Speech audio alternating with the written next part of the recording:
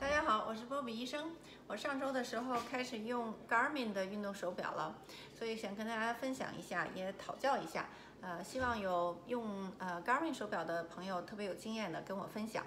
呃，我为什么要换呢？因为这次回国已经带一直带的 Fitbit，呃 Versa 3带了呃差不多一年，呃结果没有那个 charger 充电的东西，可能落在国内了。回来之后再买了一个充电的也不合适，所以就嗯想这次也换一下。呃，因为呢 Garmin 有几个特点，一个是能够测 VO2 max，呃还有一个呢它对呃就是 GPS 比较呃敏感，所以它能够呃测出来你去外面跑步。这个事情呢，这这个对我来说比较有好处，还有可以测呃氧饱和度啊，O2 呃。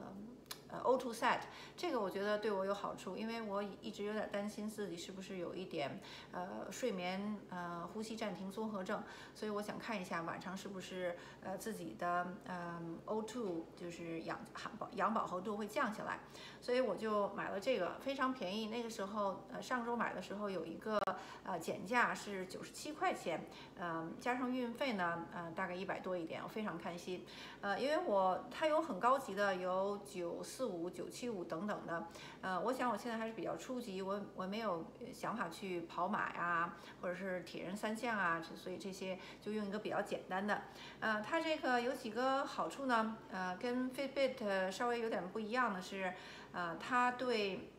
呃，这个心率啊这些。嗯呃，可以呃呃饱氧饱和度啊，都可以在屏幕上直接看到。它还有一个叫做呃压力的指数和呃你的身体的能量指数，就是说你是不是要没电了，要去充电去了。这个我觉得比较主观。嗯，他说的我要没电了，我觉得自己还挺有电的，这个就不一定了。嗯，再有呢，它的呃一个好处是它有几个办法让你呃根据表跟着表来进行呼吸的。放松的训练，这点我想我以后也会用。呃，再有它的这个呃屏幕呢，我觉得也还是呃内容都比较丰富。呃，比如说你走了多少步啊，呃睡觉睡得怎么样啊，这些都有。呃，我现在就说几个我有的问题吧。一个是说，呃这个睡眠它给你分期有呃深睡眠，有呃睡眠的总长度，还有呃快速动眼期，还有呃就是呃轻睡眠，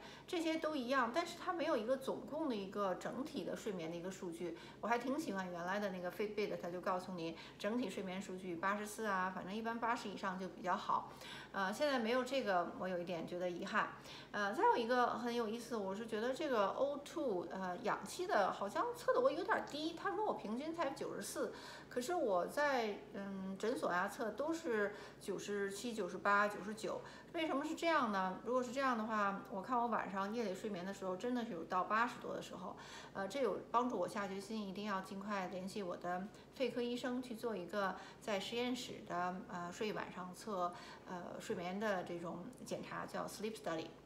好，这个都不错。嗯，再有它比较好的就是，确实是，呃，你如果去运动了，它会告诉你，你呃走路走多长时间，跑步跑了多长时间，呃，这个比在 Fitbit 里面，Fitbit 只是给你显示出来你心率的变化，它并没有说你跑步了，你走路了，没有那么快的敏感的呃感应性。呃，但是这个有一个缺点，我发现它测心率不是特别准。我有一个用呃在身上带一个袋子测心率，我的最高心率今天。跑步的时候到了一百七，这个只测出来是一百四十几，所以这个差距就太大了。这点让我觉得，嗯，到时候我要是真的是去跑步做呃耐力训练的时候，我还是会带我的呃正式的呃身上有一个袋子的这种测心率，然后那个心测心率的是搭配这个叫 Polar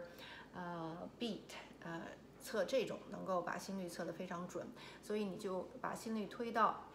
呃，第四个区间，然后再呃放松两分钟，再推上去，这样能够确保你有足够的 Zone Four 第四个区间高强度的呃心肺训练。我的心肺训练耐力训练时间不长，每周两次，每次在呃四十分钟以内，呃。